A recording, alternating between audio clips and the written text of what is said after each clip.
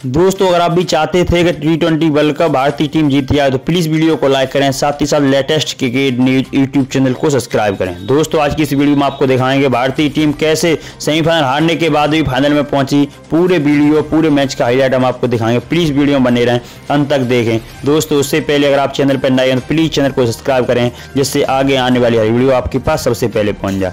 दोस्तों, भारतीय team T world cup खेलने के लिए दूसरे देश में जाती है तो भारतीय टीम पहले ही मैच है पाकिस्तान को हराकर अपनी लगभग तय पक्की कर लेती है क्योंकि भारतीय टीम उसके बाद आयरलैंड को हराकर भारतीय टीम सेमीफाइनल के लिए बहुत करीब पहुँच जाती है भारतीय टीम को इंग्लैंड से बिड्डत होती है और भारतीय टीम इंग्लैंड से हार जाती है तभी दोस्तों देखे लग रहा था भारतीय टीम कितनी ज़ोर धोर से है भारतीय टीम की रेणुका सिंह ने पाँच विकेट लिए और भारतीय टीम फिर भी हार गई दोस्तों उसके बाद भारतीय टीम और वेस्ट इंडीज टीम के बीच में टी मुकाबला खेला गया टी ट्वेंटी वर्ल्ड कप का तो भारतीय टीम ने वेस्ट इंडीज को हराकर सेमीफाइनल में जगह पक्की कर ली दोस्तों उसके बाद भारतीय टीम सेमीफाइनल में ऑस्ट्रेलिया से मिलने वाली थी। दोस्तों, ये भारतीय टीम ऑस्ट्रेलिया भी सेमीफाइनल शुरू हुआ और भारतीय टीम के कप्तान टॉस हार गई और ऑस्ट्रेलिया कप्तान ने टॉस जीतकर पहले बल्ले करने का फैसला किया। जिसमें ऑस्ट्रेलिया कप्तान और उनकी टीम ने भारतीय टीम को घुटने टेकने के लिए मजबूर कर दिया भारतीय टीम को एक रन का लक्ष्य दिया, जो भारतीय टीम के लिए बहुत ही कम ज़्यादा होता है, क्योंकि टी मैच में एक रन बहुत ज़्यादा होती है एक सौ बीस गेंद में एक रन बनाना भारतीय टीम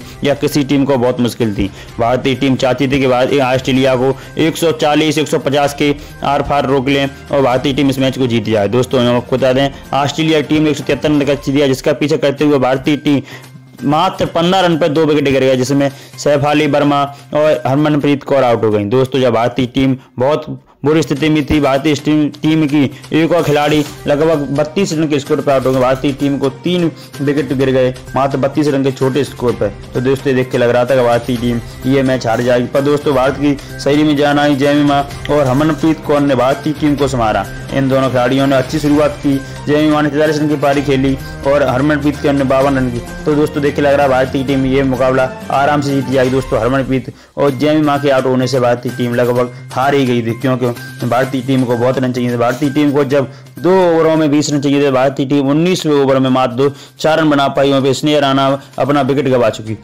थी दोस्तों, उसके बाद बीसवें ओवर में भारतीय टीम मात्र ग्यारह रन बना पाई और ये टी ट्वेंटी मुकाबला पाँच रन से हार गई। दोस्तों, भारतीय टीम के कुछ खिलाड़ी कह रहे हैं और कुछ दर्शक कह रहे हैं, भारतीय टीम ये मैच जीत जाती है अगर अच्छे परफॉर्मेंस करती दोस्तों, हम आपको बता दें, ये के लिए खेल अनिश्चितता को खेला जो खेलता है, वो अच्छा परफॉर्मेंस करता है। भारतीय टीम चाहती तो जीत जाती, क्योंकि भारतीय टीम के तीन विकेट बहुत जल्दी गिर जाते गए और भारतीय टीम अगर पार्टनरशिप कर पाती तो भारतीय टीम हंड्रेड परसेंट जीत जाती।